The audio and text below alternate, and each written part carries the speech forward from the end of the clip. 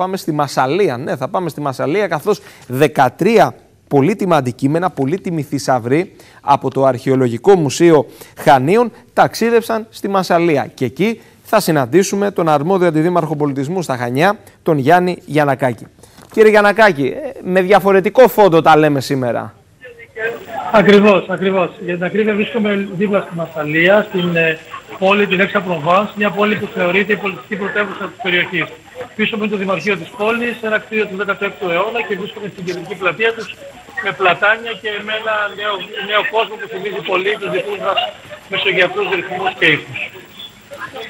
Μάλιστα, η συγκεκριμένη πρωτοβουλία βέβαια εντάσσεται σε ένα γενικότερο πλαίσιο συνεργασίας ε, και σε μια γενικότερη συνεργασία και συμφωνία που έχει συναυθεί, σωστά; Ακριβώς.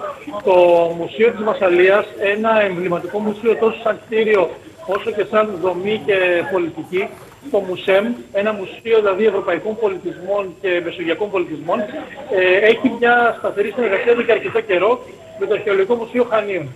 Στη μεταβατική αυτή περίοδο, το Αρχαιολογικό Μουσείο ε, μεταφέρεται στο νέο του κτίριο, ένα εμβληματικό κτίριο στην περιοχή της Χαλέπας, ε, είναι σημαντικό ότι οι ξένοι φορείς, οι σπουδαίοι φορείς στον χώρο του πολιτικού έχονται και τελειώσουν αυτή την προσπάθεια. Αυτό που συμβαίνει λοιπόν τώρα είναι ότι 13 έργα, 13 έργα που αναλύουν, αν θέλετε, και θεματικά αλλά και χρονικά τις περιόδους της ανάπτυξης του πολιτισμού στα, στην Κρήτη εκτίθεται σε ένα χώρο το οποίο είναι πολύ χαρακτηριστικό ότι οι Γάλλοι το ονομάζουν το δωμάτιο των φίλων και τα, το Αρχαιολογικό Μουσείο των Χανίων είναι ο φίλος που μπαίνει πρώτος σε αυτό το δωμάτιο ανοίγοντας αυτή τη σειρά εκδηλώσεων που θα κρατήσει για πολλά πολλά χρόνια.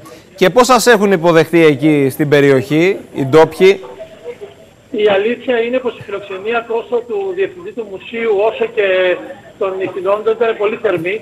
Είναι εντυπωσιακό το πώς τα Χανιά που για μια πόλη σαν τη Μασαλία με τεράστια ιστορία και μια τάξη μεγέθους ε, του Μητροπολιτικού Δήμου περίπου ενός εκατομμυρίου είναι πολύ σημαντικούς.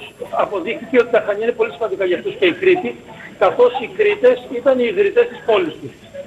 Συνεπώς, ε, κάποια έννοια το ότι τα Χανιά, η Κρήτη με, επιστρέφουν στο Μουσείο της Μασαλίας ε, αποδίδει, αποδίδει ένα κομμάτι της ιστορίας πίσω στο σήμερα. Οπότε ναι. για αυτούς η φιλοξενία ήταν σαν φιλοξενία μεταξύ φίλων που ξαναγύρισαν στον τόπο. Και θα την ανταποδώσετε τη φιλοξενία αυτή; Ακριβώς.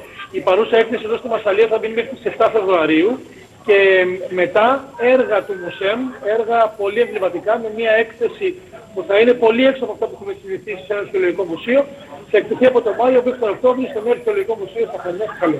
Μέχρι τώρα γνωρίζαμε για αυτή την περίφημη διπλωματική εξωστρέφεια που επιδιώκει βέβαια διαχρονικά η χώρα μας. Τώρα φέρνεται στο προσκήνιο και την πολιτιστική εξωστρέφεια που πρέπει να υιοθετήσει η τοπική αυτοδιοίκηση. Είναι αλήθεια, είναι αλήθεια και αυτό εδώ έχουμε μια πολύ ε, ευτυχή συνεργασία μεταξύ της εφορίας αρχαιοτήτων, της κυρίας Παπαδοπούλου που είναι η προϊσταμένη των Χανίων, της Περιφέρειας Κρήτης, του Ειδικού Συμβούλου του κ. Μιχαλογιάννη και των Περιφερειακής Χανίων του κ. Καλογερή και βέβαια του Δημάρχου Χανίων και όλες τις Δημοτικές Αρχής. για άλλη μια φορά η ισχύ είναι τη ενώση. Μάλιστα. Επιστρέφετε πότε, Αντιδημάρχε; Η ομάδα έχει ήδη επιστρέψει στα Χανιά, καθώς είχαμε το φεστιβάλ κινηματογράφου που ξεκίνησε χθες στην πόλη μας. Οπότε μείνατε πίσω. Γιατί πρέπει να κάνω κάποιες επαφές ακόμα και θα είμαι πίσω σε δύο μέρες. Μάλιστα, μάλιστα. Με το καλό να γυρίσετε. Να σας ευχαριστήσω πολύ. Σας ευχαριστώ πολύ. Ευχαριστώ για τη φιλοξενία. Σας ευχαριστώ πολύ να είστε καλά.